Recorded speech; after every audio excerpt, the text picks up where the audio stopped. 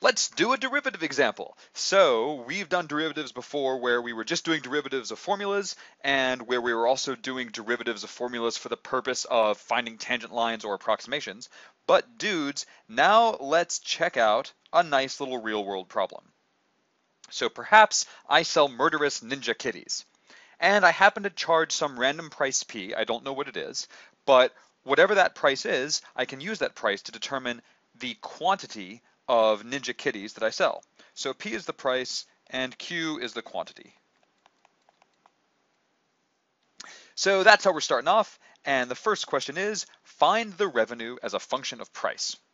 So dudes, before you do anything else, the thing you should still remember about revenue is that, uh, uh, uh, is that revenue equals price times quantity. And whenever you're asked to find a revenue function, you're always going to be keeping one of these guys the same. So you'll have a variable for price and you'll you'll plug something in for quantity, or you'll have a variable for quantity and you're going to plug something in for price. Now, I'm pretty sure all of the problems you guys have done thus far have been problems where you have a uh, variable for quantity, maybe X, and you have a formula for price. And usually the price is something fixed, like $40. So you would keep quantity as X, you would change price to 40, and then you would do your math based on that. But that's not what it's always going to look like. And so in this problem here, you can see right away that the variable they give you is price. So that's the variable that we're working with. And right here, they give you a formula for quantity. So that goes ahead and tells you that when you're working with this equation here, you're going to keep price as P, and you're going to use the formula they give you for quantity. So we're going to say revenue equals price times quantity. Price stays price. For quantity, we're going to use this formula that they hand us, minus um, what? 10p. And then we can go ahead and distribute. So this is 800p minus 10p squared. And let's go ahead and make sure that works what they're asking. They do say find the revenue as a function of price. So when they're specific about what it's a function of, that's just fancy language for saying the variable you have in your formula should be price and not, you know, quantity or some other random crap. So we can even write R of P. And that's pretty cool, dudes. That is our formula for revenue as a function of price. Good job, us. And 99% of that was accomplished by just remembering that revenue equals price times quantity. All right, now let's check out numero dos. Number two says, what is the instantaneous change of revenue with respect to price at the price of $10 per Ninja Cat? All right, well, first let's get rid of some of this annoying language. So all of this instantaneous change of revenue with respect to price crap, that is just fancy language for saying find the derivative. Instantaneous is a big keyword for derivative, and instantaneous change is an even bigger pair of keywords. And the fact that it says of revenue with respect to price, well, that's just incorporating the fact that your Y values here are revenue and your X values are price. So no big deal, bunch of fancy language, but all it's really saying is find the derivative of, oops, not P, find the derivative of revenue. And so finding the derivative of revenue is easy enough. 800p just becomes 800 minus 10p squared, well, the p squared becomes 2p, and we keep the minus 10. And if we simplify that, it's 800 minus 20p. So that's the derivative, and that's cool. But that's not what they're asking. What they're asking is not what is the formula for instantaneous rate of change. They're actually asking us what happens at a particular point. What's the instantaneous change at the price of $10 per Ninja Cat? And all that means is you plug in $10 for P. So plugging in $10 for P, we get R prime of 10 is 800 minus 20 times 10, which is 800 minus 200, and that, my dear fellows, is 600.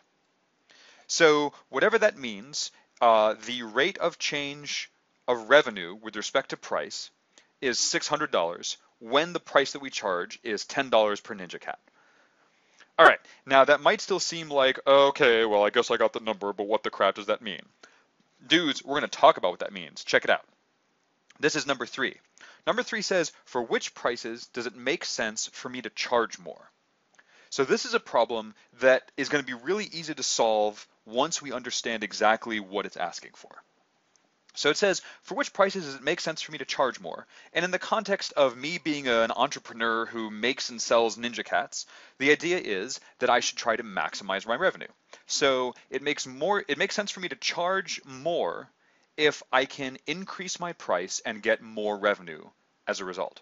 So, um, by the way, dudes, just like as a quick aside, you know, increasing your price doesn't always help, right? So you might have something that is really cheap and you could increase your price and people would be willing to pay more for it. And then you get more revenue and that's great.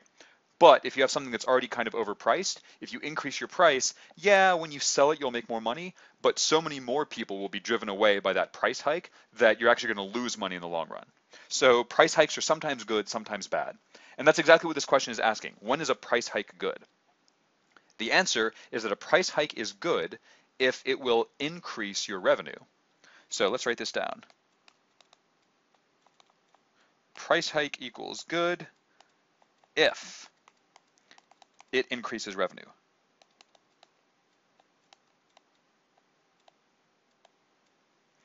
All right, so that probably makes sense. And now let's even look at what we wrote down. What we wrote down is that we want to increase revenue. Revenue is the function that we wrote down up here.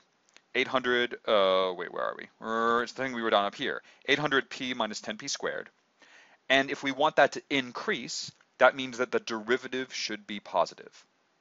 So increasing revenue is the same as the derivative being positive. So dudes, that's exactly what we want to solve for.